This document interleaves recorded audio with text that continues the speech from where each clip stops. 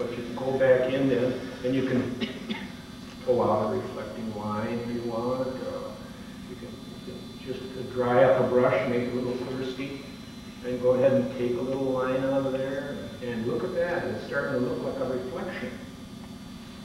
Something's going on there. Then you could use even a couple of other darks, maybe, uh, to give it a little extra pizzazz.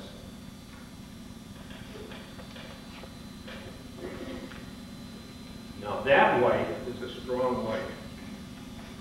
And, but it's kind of a blue shape. And it's, and it's not a very exciting shape, but it will be after I get the darks in here. And it starts to move this way and that way. Now, oh, way over to my, way over my it is here. Uh, blue, uh, on. I don't know, Why can't I think of the blue vest? I'm gonna put that on here. And it's not very carefully painted, I'm not gonna be too concerned about the carefulness because Barb, Barb's, after all, got her shirt tail hanging out here. And, you know, if she can be casual, I should can. But I don't want the blue to be all the same. Never make it blue all the same. Give it some variety. Throw even a little purple color a little red and let it mix.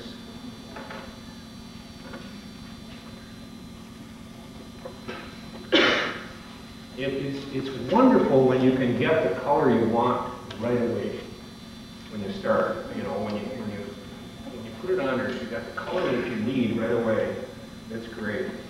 Okay, um, I'm gonna, uh, these trees, um, are just sort of, uh, over here. I'm, I'm putting in these darks because I wanna, wanna be able to sort of see how this composition is going. I'm I'm developing as I go around. There is a, a red, uh, sometimes you can take and, uh, just, just, uh, mix it on paper too, you know, you just kind of drop in some, little, drop in a little cadmium red in there, look at that, what happened to that brown? Just let it, let it kind of, let it kind of mix on the paper, this is always a good idea.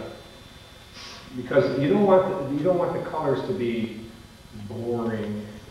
And they will be boring if you mix it all in the palette, because you've got a blue house. You mix up a nice big blue and make a big blue house. It's gonna be boring. But if you take a little blue and put it on there and then drop water here, I, I'm gonna just put some clean water in here. Okay, and because down here where it touches bottom, I said clean water. That's, uh, not very clean. Um, Where it, where it touches the bottom here, uh, I want it to be uh, kind of blue because it's reflecting the sky, even though it's, it's uh, that, it's white, but it's got a lot of wave action in it, and it's going to be uh, sort of reflecting the sky. And where it comes up against some of these warm colors, I want it to be, I want it to be. Still a white area, but it's a lively, a little more lively white area. And after that dries, I will go back in and I will, um, I will do a little, little few drops of calligraphy and that kind of stuff. Um, and I haven't decided yet what color I want. I want those to be dark, but I'm not sure what color yet. Uh, okay, let's, uh, let's see if I can quickly get some of this, um, foreground stuff. And I'm saving my center of interest really until last. I might drop in some color here and there. Now, that- that nice warm color that, that's on the thing. Um, It's the same color as family of colors as my background, but I want it to, I want it to be contrasty. Um, So, it is in shadow, actually. um, Little details.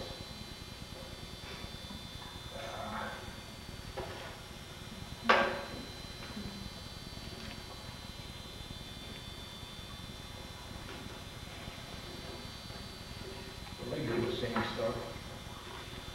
just put them in there. Have to be very careful with this stuff. How that, the color. And That color is different than that color. You don't to know, whenever you have uh, uh, things rep- repeated, you want to try to change the color. And if you don't change the color, then you should change the value. You can do that by doing this. You know, just, just throw a little different, trying to give a, a little variety in this, uh, in this area, because this is my center of interest.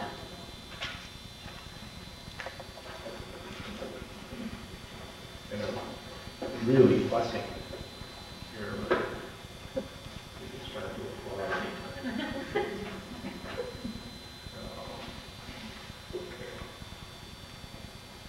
All right. Um, now I'm gonna just get a little carried away here, and, and the people up there, up there in the front, um, they've all got good dry cleaners. So you, you might be wanting to use them. I'll try to be nice here. I'm just gonna start throwing some color in here, very loosely. So I'm just gonna really kind of generalize things here. And I'm keeping these blue, kind of bluish colors, because, um, Bishop Barb is kind of under a shadowy area of the tree here. And there's some grasses growing in here. See, what have I got here? The, the um, uh, easel is, is orange, so I'm thinking, you know, it's, and it's pretty, uh, pretty warm, so I'm I'm thinking maybe I'd like to go with a cooler color here. But I don't want this to be boring in shape. I don't want it boring. It's because I'm fooling with brushes. Use a big brush. Ah, isn't that fun? I'm supposed to have fun up here.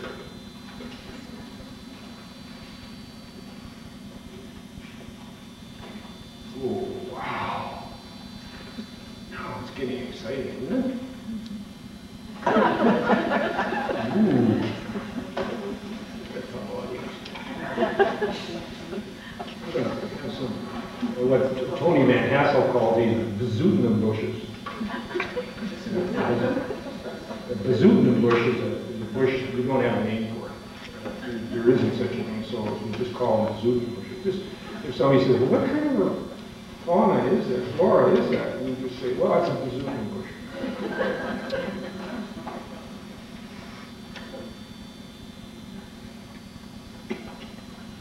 A lot of saturated color in there. Textural stuff going on.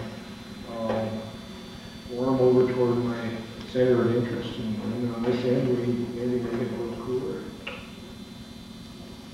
Some cool stuff going on here.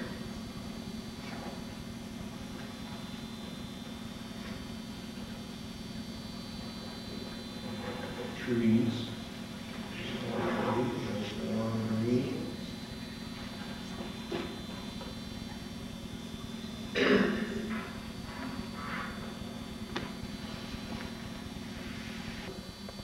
Is against the darker background, I'm going to take some color out of it. Just taking color out of it. Now, light against dark and dark against light. So I'm taking some color out of there. And down there where it comes up against the light, it gets really dark. And in nature, it really does work that way. So I'm going to put some paint in here against it. And I can cheat some more. I can do a little more cheating here by um, extending this dark down, putting a little more dark into that reflection. Just uh, quickly do a little stuff with uh, various and Sunday. That's not dark enough. You gotta use paint right about out of the tube. I've got here, I'm grabbing blue and, uh, and raw sienna, or, um, or uh, burnt sienna. And I'm just gonna draw some shadows in here and some structure on that tree. I'm gonna, there's a few bushes here I can at least help them a little bit.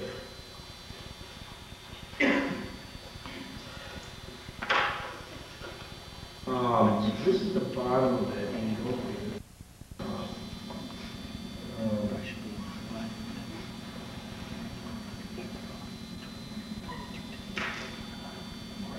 you know, put a, a nice little pink along the side. I don't know what kind of board she had on there. Down here, where it meets the light, I want to have that easel or that piece of white paper, I want it to have a little bit of contrast, so it does, so it does establish itself as a different piece of material.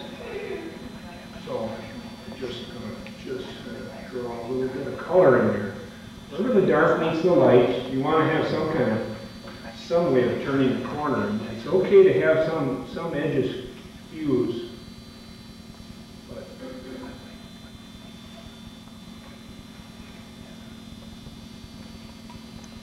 Watch what happens to the painting.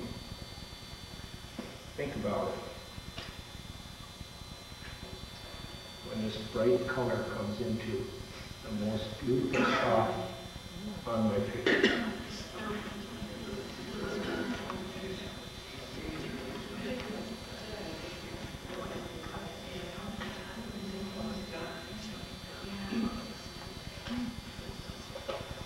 A stick in water.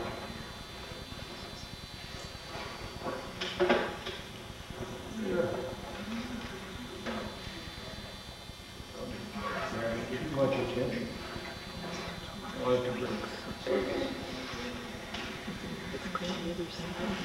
I want to have a, a little light in the pond that's going across there, you can just throw a loosey brush across, a little streak where that thing is going across, the edge along here, dark. Uh, Let's see, um, I noticed, there is, a- there is some, uh, one piece of vegetation there that- that was out of that location that I really liked. And I don't know what it looked, I don't know what it was, but it was, it looked like a, um, uh, one piece of vegetation there that- was out of that location that I really liked.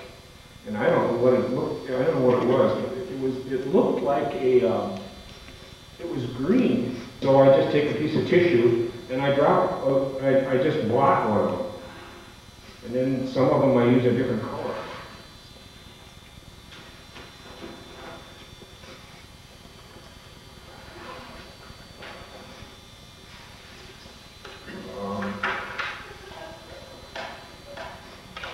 Um, Some calligraphic details. You can also, oh, I I didn't think I, I showed you any of this. The scraping thing is really nice if you've got, if you've got some wet paint. You can scrape. I don't think you should do too much of it, but you can do that.